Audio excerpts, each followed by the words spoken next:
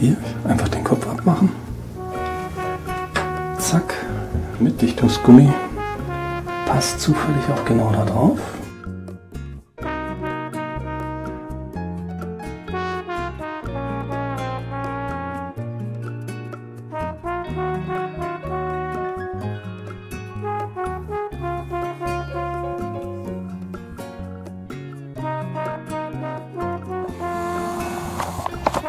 Kommt das Schlauchende einfach in die Wasserflasche oder in den Pool und dann kann sich die Pflanze Wasser ziehen.